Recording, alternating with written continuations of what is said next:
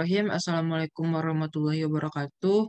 Uh, kami dari kelompok 1 kelas KBI ingin mempresentasikan mengenai penggunaan bioedit serta segmen uh, dalam pengaplikasiannya pada ilmu bioinformatika. Nah, uh, sebelumnya perkenalkan saya Angga Kurnialahi dan partner saya Siti Nur Aisyah dan Rafia akan memaparkan serta menjelaskan dan mempraktekkan sekaligus bagaimana penggunaan bioedit dan segmen. Sebelumnya saya akan share screen dulu.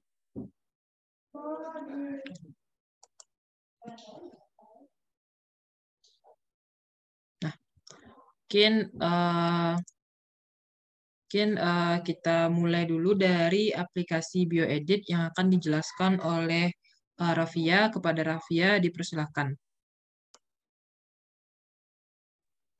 Baik, terima kasih Angga. Uh, dan kali ini itu kita akan melakukan uh, melihat dengan menggunakan aplikasi BioEdit. Jadi karena data untuk kelompok satu itu sudah ada, bisa pertama kita buka uh, file dari data tersebut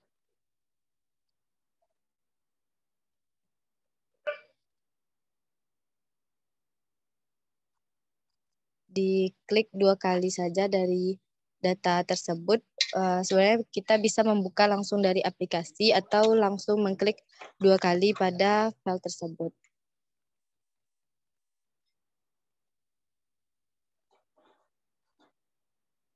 Untuk dari aplikasi itu bisa di open file.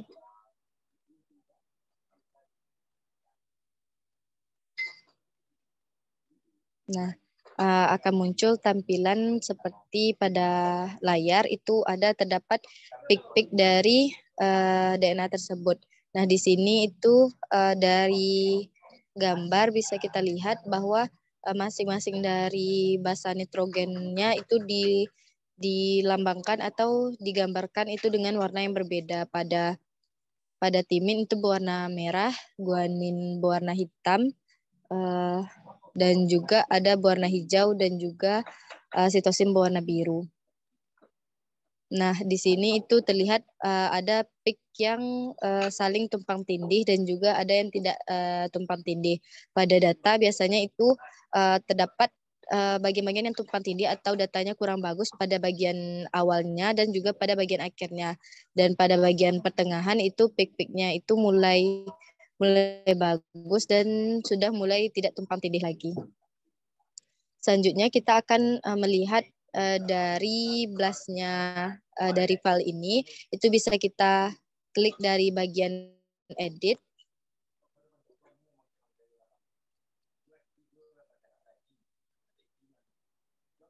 Lalu copy pasta format.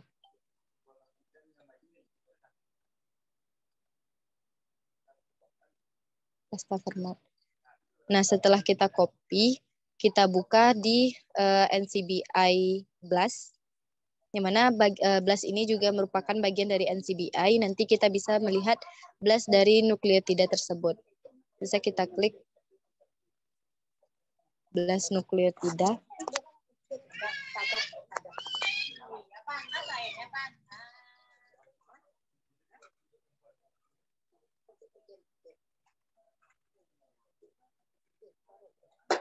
Nah, pada yang di sini itu bagian kolom yang berisi anti sequence. Nah, di sini kita pastikan dari uh, pasta format yang telah kita copy tadi.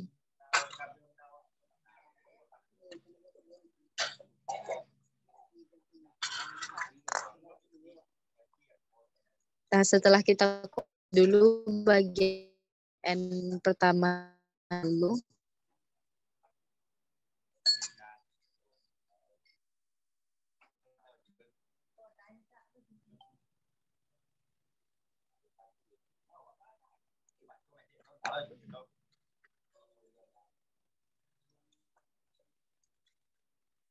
Nah, setelah itu baru di blast pada bagian bawah.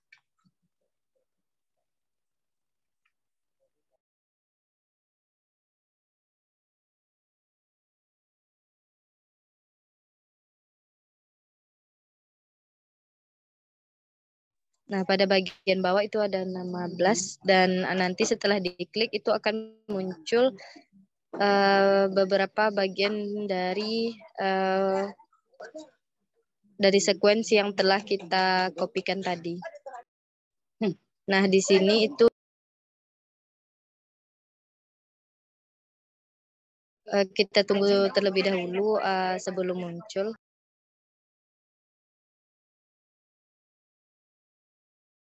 Di sini itu akan muncul sekuens yang mirip dengan uh, yang kita copy tadi. Nah, di sini untuk data kita itu merupakan dari Vajavaria kan Pora. Mungkin sekian dari saya dikembalikan ke moderator.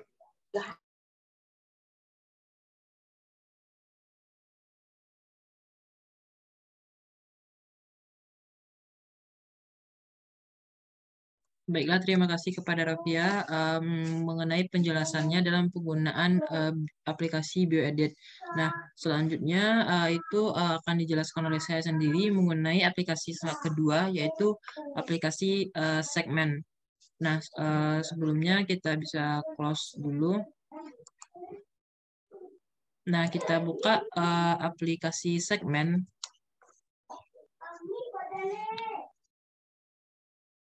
Kita open.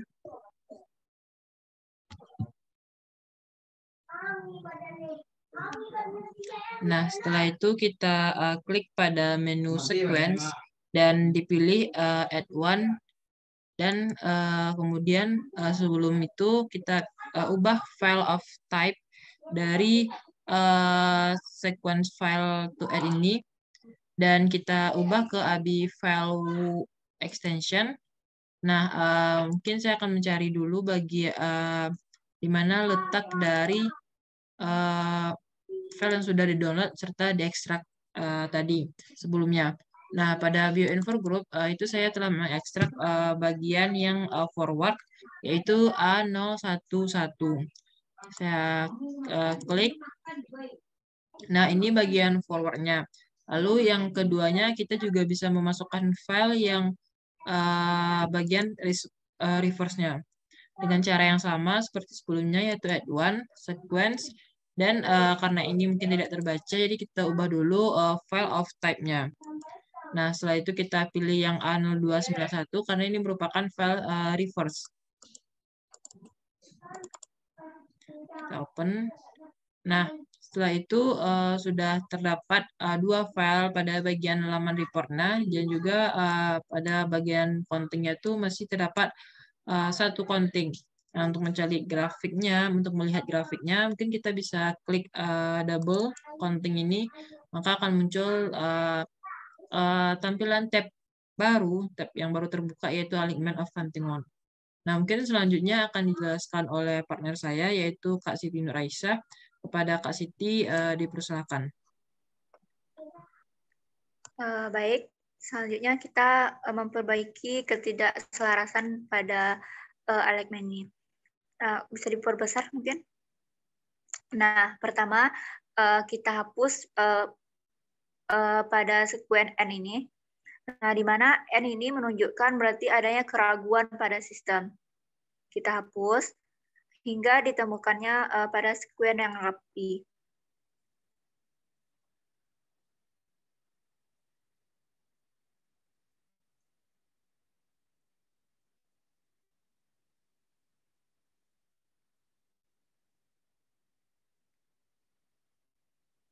Hmm. Nah, setelah kita hapus pada bagian awal ini, kemudian keraguan pada sistem ini juga terdapat pada ujung sequence. Bisa kita lihat pada bagian ujung.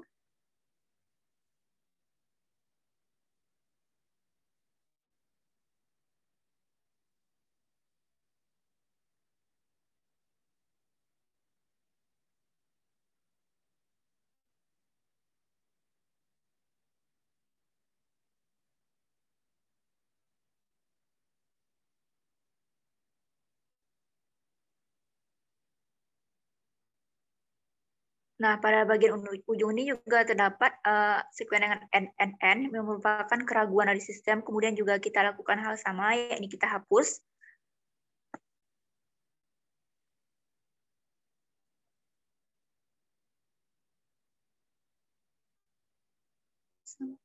Sampai bagian sampai belakang yang belakang enggak? Nah, boleh kita hapus. Nah, selanjutnya kita lihat konflik atau ketidakselarasan pada file ini. Mungkin bisa kembali di bagian awal, Berata.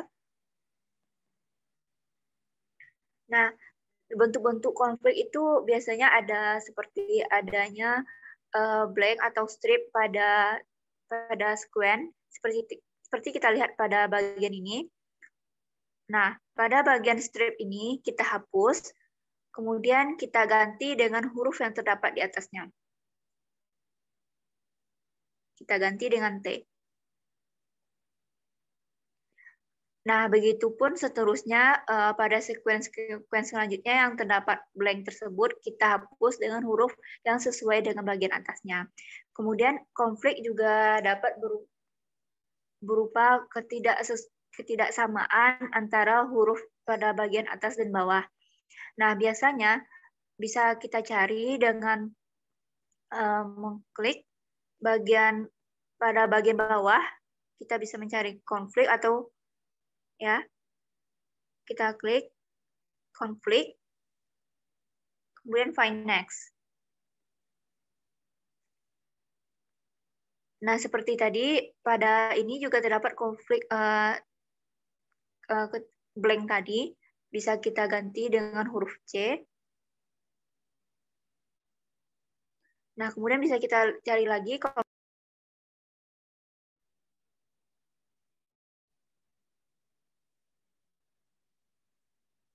Nah, di sini uh, terdapat konflik blank seperti tadi. Kemudian kita cari lagi konflik.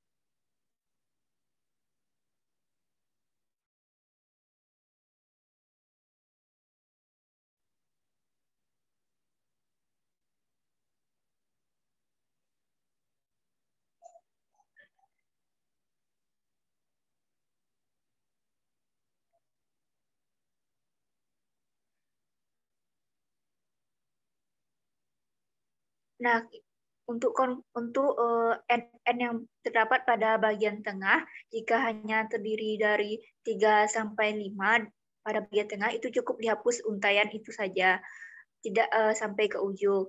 Namun uh, sepertinya pada uh, ini tidak terdapat konflik Nah, jika terdapat perbedaan huruf setelah kita dapatkan pada find kompleks, dapat kita buka uh, kurvanya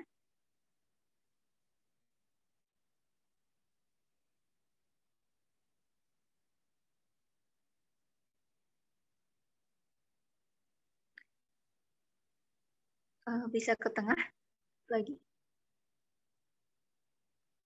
Nah, stop.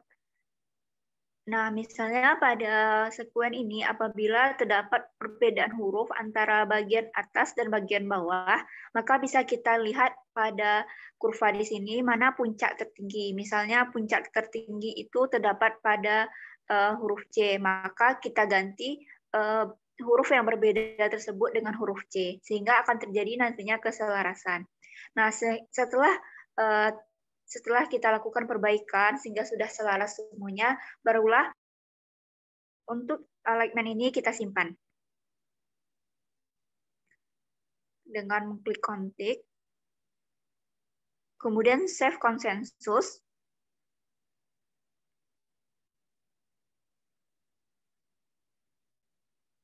kita klik. Barulah kita pilih di mana akan kita save dengan format uh, pasta.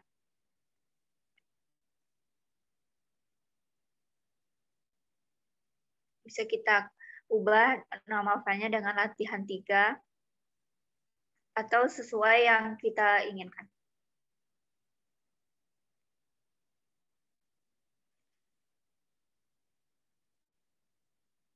Nah, Uh, sekian penyampaian dari saya. Dikembalikan ke moderator.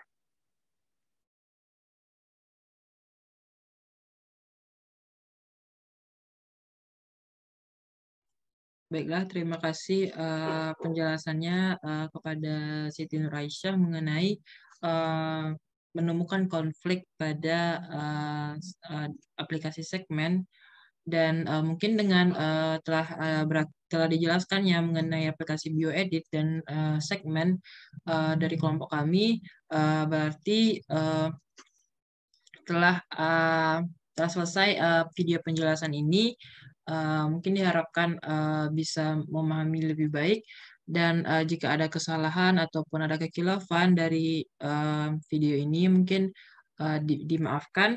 Wabillahi taufiq walhidayah. Wassalamualaikum warahmatullahi wabarakatuh.